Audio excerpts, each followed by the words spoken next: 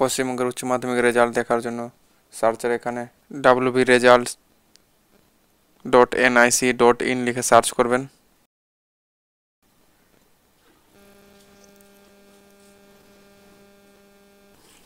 তারপর এখানে আজকে বৈকাল চারটার একটা লিঙ্ক আসবে। সেই লিঙ্কে ক্লিক করে রোল নম্বর দিয়ে রেজাল্ট দেখতে পারবেন। আর ডাইরেক্ট রেজাল্ট চেক করার জন্য ডিসক্রিপশনে দুটি ওয়েবসাইটের লিঙ্ক দেওয়া আছে।